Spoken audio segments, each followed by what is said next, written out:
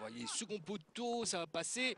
Ouh, le ballon remisé dans l'axe et le but, l'ouverture du score de la part de Rochebois Bolton City. C'est Samuel Brass au second poteau qui a remisé ce ballon en plein cœur de cette défense de la SPL 2000. Et c'est Shigodzi donc qui ouvre le score. C'est bien envoyé quand même là ce coup franc. Samuel Brass de la, tête pour remettre ce ballon devant. Que ce corner soit joué. Joué à deux. Des Hugo. Centre. Personne n'arrive à reprendre. La frappe de Bruno Ravina. C'est dedans.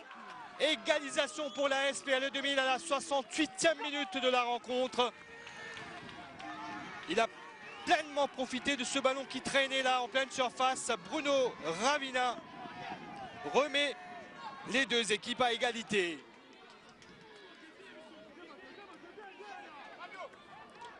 Il y a ce corner joué à deux. John Oudeyubo qui se retourne, le centre. Dans le dos des défenseurs. Et Bruno Ravina qui prend sa chance